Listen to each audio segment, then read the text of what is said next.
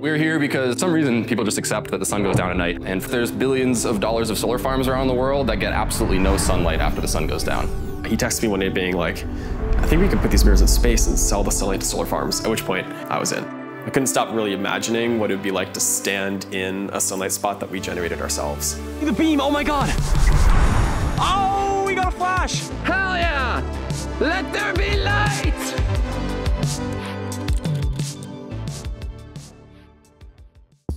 Every year, solar panels are becoming cheaper and more accessible. Today, over 1,300 terawatt hours of solar energy are produced annually. But there's a fundamental problem. Solar panels only work during the day. At night, they're useless. It's also expensive to transmit power over long distances. I was watching this video on the problem of solar power in Africa, and you get three times more sunlight in the Sahara Desert than you get in Europe. And they were looking at spending $40 billion to bring the sunlight from one place to another on the Earth. And I was like, $40 billion is crazy. There's probably a way cheaper way to do that.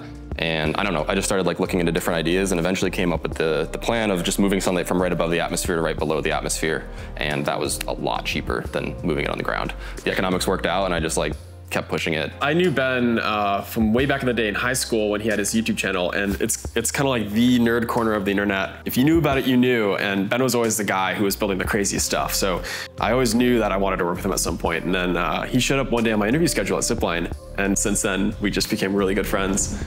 You do the math, if we burned everything alive on the planet, it would only last us 3.6 days at our current energy use. So we're just burning like billions and you know billions of years of old trees. And you know, it's obviously it's gonna last for a very long time, like hundreds of years, but it's not gonna last forever. And it's definitely not gonna allow us to continue to like double and triple our energy consumption. So we, we really need something that can power the world in a way that's super clean, that can just unload unbelievable amounts of power. This is where solar enters the situation. So like, you know, solar energy has been around for, you know, since the 1950s, it started getting really cheap. And then in the 2010s, it became, you know, one of the cheaper forms of energy as banks started to back um, solar energy projects. And then in 2020, it became the cheapest source of electricity during the day. But then the sun goes down and solar energy stops working. So everybody kind of started forgetting about solar then and, you know, kind of looking to batteries to come in and, you know, charge up the batteries during the day and then discharge them at night.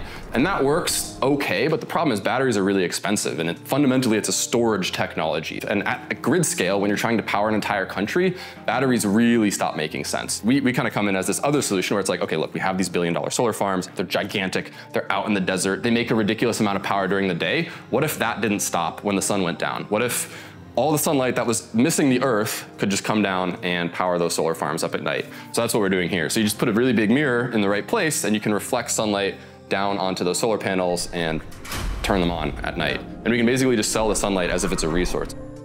Ben and Tristan are working to solve this by building a fleet of reflective satellites to shine sunlight onto solar farms at night. I filmed their first S3 episode just as they were moving out of their original office into a larger space. It's my favorite model of our system. I think it just totally explains what we're trying to do here. So the Earth just rotates under us like this, and then we can sit in an orbit right over the terminator. So if you're the sun and this is the Earth, we're just over the line of sunrise and sunset. And this is really the place you want to be when you're serving solar farms. Part of the reason is we set, just like the sun does, at 8 or 9 p.m., so we're not super late at night. We're not going to be bothering that many people. And the other thing is, because the mirrors are so reflective, we're only lighting up very, very small spots on the ground. So it's not going into places that we don't want it to go into. And then the other piece is the satellites work together. So one spot is actually a composite of like 100 or so satellites at one time. And when you do that, each individual beam is, is essentially invisible and you're only seeing the spot when it's actually on the ground. The performance of that reflector is everything. The reflector is how we make money.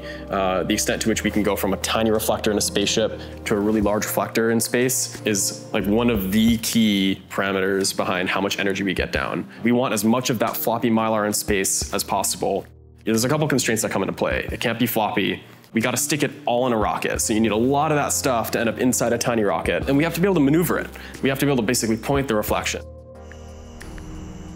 So this is a map of like the greater Los Angeles area, and that tape mark on the ground is our orbit height.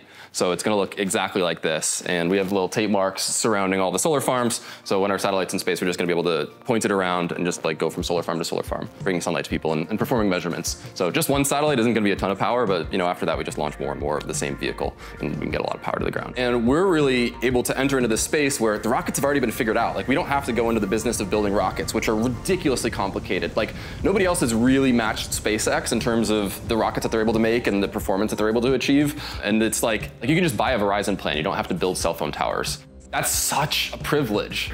And the, like a lot of people don't realize that rockets exist and they're a privilege that we can just use. Like there's like, and there aren't a lot of people like coming up with new ideas and new ways to use rockets. Like there's not that many space businesses. Some people might be like, going to space is not simple. Like that sounds really complicated and crazy, but space is hard from the standpoint of you have to build things that have to withstand an environment that's really hard for us to understand intuitively around us. But if you characterize an environment, if you understand that environment well, it's an engineering problem.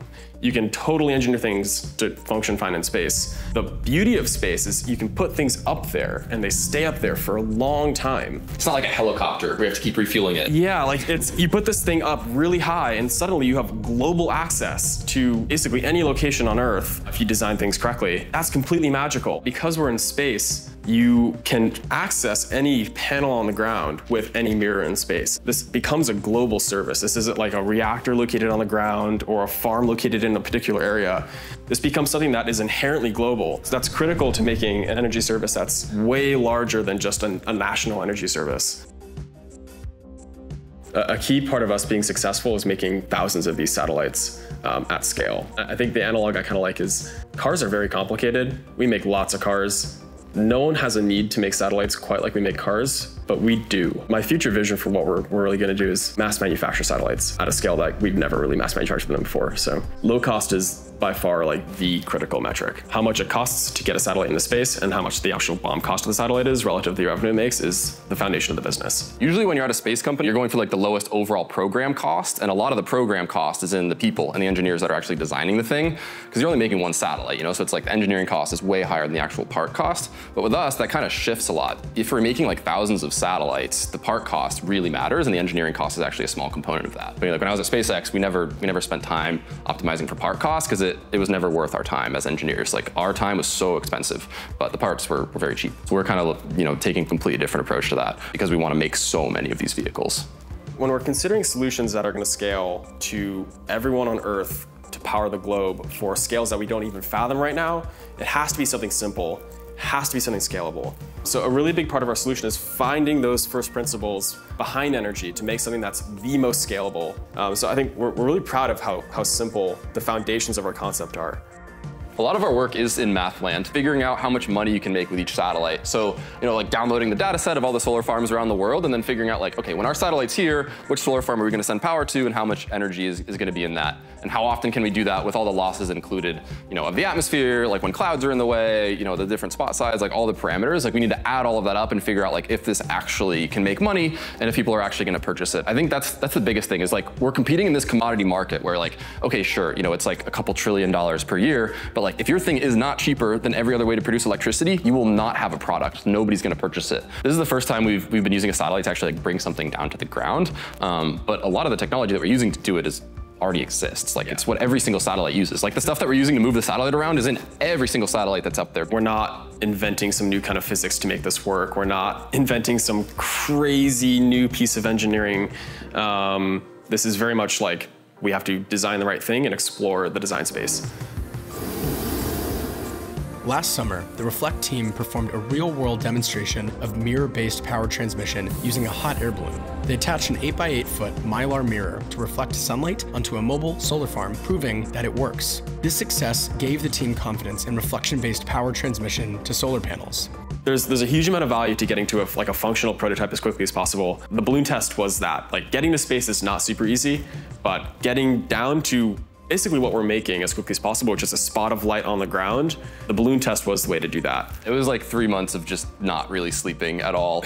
like driving out to the desert. Like I think we spent three days without sleep and then drove to Oregon. A couple naps. But... Yeah, a couple naps. And then like the thing still didn't work. Like when we were getting the hot air balloon ready and like, you know, that's the huge flame on that and everybody's there to watch it and see it work. And it's like just sitting there writing code, stressed out, like yeah. hoping it's gonna come together. It was, it was insane. It was definitely the craziest, most manual labor thing I've had to do, combined with the craziest amount of engineering.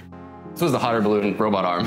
this is what we mounted the mirrors to. We threw this together in like a weekend, I think. It worked perfectly. Like, you know, it's like super gear down stepper, points the thing accurately. We just strapped a bunch of electronics to it. Uh, the whole thing would fold out from under the balloon. We like did a test fit and then the next weekend we were testing it. It was actually a really hard problem to solve. Like when the hot air balloon's moving and you don't know where it's gonna go and you have to like hit this super accurate target, like yeah, it ended up not being as easy as we thought it was gonna be. Originally we were like, oh, we'll just use like GPSs and like an IMU and figure out where the thing's gotta point, and that didn't work at all. Like we started doing some demonstrations, like, you know, you build up a couple protos and they just do not function as you expect. So you have to like, you know, throw everything away, come up with something simpler that uses like, a new reference. And you know, what we ended up coming up with was, was really clean, but it took, it took a lot to get there. We ended up doing seven, seven tests. The spot is so small if it's not precisely aimed, you're not gonna see it. We thought it'd be pretty easy to aim and you kind of see the mirror getting brighter and then dimmer, but unless you were in the spot, you couldn't tell if the mirror was aimed at you at all.